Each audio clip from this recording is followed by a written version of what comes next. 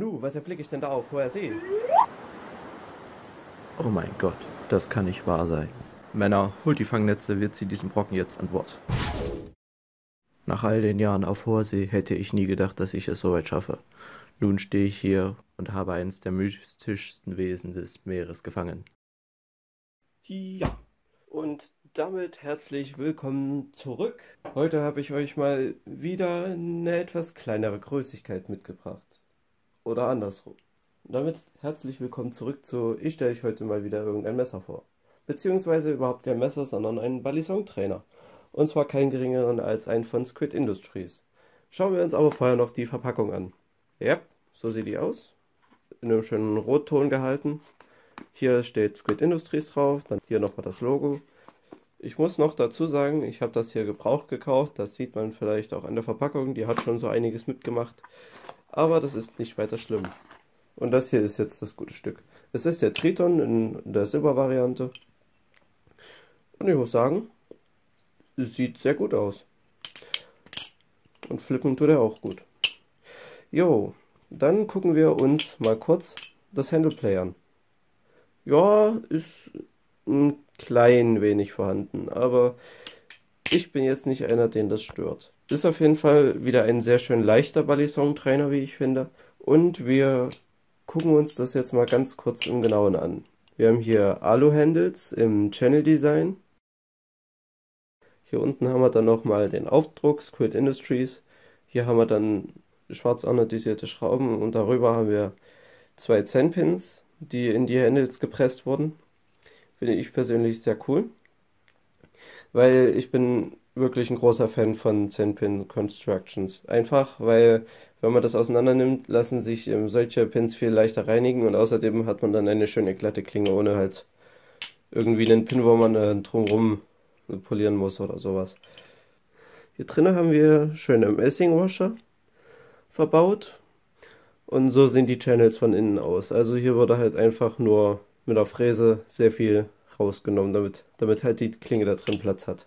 Es gibt zwar jetzt hier auch schon wieder Clones davon, aber hier kann ich euch wirklich eher zum Original raten. Einerseits kosten die nicht unbedingt viel mehr, die kosten nur so um die 100 Euro. Es gibt noch verschiedene Varianten von den Squid Industries Trainer. Das hier ist jetzt nur der Triton in der einfachen Silbervariante, der hat so um die 110 Dollar gekostet. Für so wenig Geld bekommt man dann halt auch schon wirklich einen guten Trainer. Ich weiß, ich habe jetzt eine etwas jüngere Community und nicht jeder hat so viel Geld momentan zur Hand, aber wenn ihr wirklich einen guten Trainer haben wollt, dann kann ich euch zum Original raten. Falls ich eben später mal noch dazu komme, dann werde ich mir auch nochmal hiervon einen Clone holen und werde das dann mal vergleichen. Und zu gucken, wie das dann qualitativ alles so geregelt ist.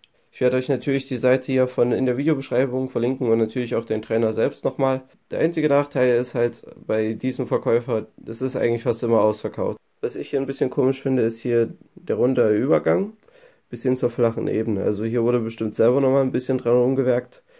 Und hier unten ist halt alles glatt.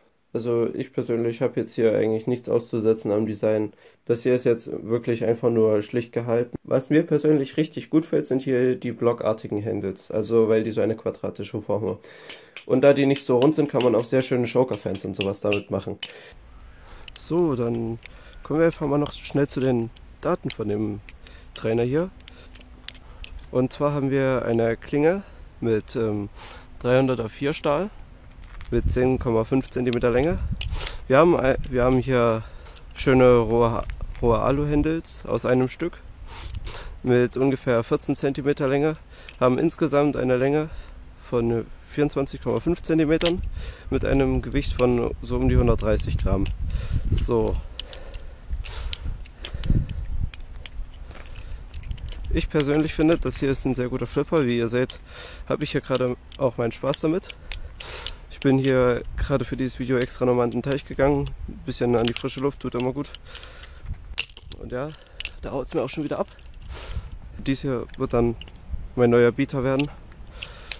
Ja, also ich hatte ja jetzt hier eine ganze Weile den Wilker Plus Trainer benutzt, aber der löst sich jetzt auch schon allmählich auf. Und ich finde, das hier ist wirklich ein guter Übergang. So, kommen wir noch schnell zum Fazit und dafür sehen wir uns wieder drinnen. Bis gleich. Also das hier ist wirklich ein Trainer, der auf mich maßgeschneidert ist. Das ist nicht zu klein und auch nicht zu groß. Und es ist nicht zu schwer und auch nicht zu leicht. Also wirklich Top, Top-Teil. Kann ich nur jedem empfehlen, der sich überlegt, mal ein etwas teureres zu holen. So um die, so um die 100 Euro geht es da halt los. Also macht man eigentlich nichts falsch damit. Die halten dann auch eine Ewigkeit. Und damit verabschiede ich mich dann. Bis zum nächsten Mal. Ciao. Oh Mann, warum mache ich das? Wenn jemand eins dieser Schiffe hier möchte, kann er sich gerne bei mir melden.